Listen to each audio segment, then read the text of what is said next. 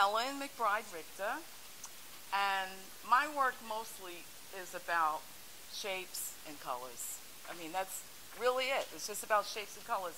Sometimes, like, I'll lock in on a shape, and it just, I, it, it just, I keep revisiting it and revisiting it and revisiting it. And this, this was the first one that I did, and this was the shape that I kept revisiting because, I don't know, I found some doodles that I did like when I was 19, and I was doing this shape. So it's in there somewhere. So that, that was part of this. And the other part was just I kept revisiting browns. I love colors and I love 20 different kinds of reds and 25 different colors of browns or whatever. So that's kind of what I have been locked into. And it just liberates me when I can put them together.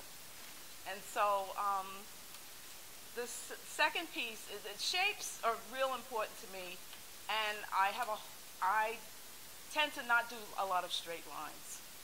Um, so this piece here was just about shapes that wanted to be together and colors and variations of colors that wanted to be together. And this was a stretch for me because I use white as my color as well. And that, that's, that was a departure. This was the last one that I did. So it was this one first.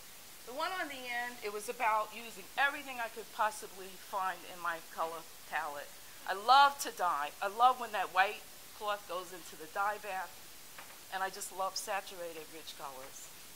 And basically, the challenge for me was going big.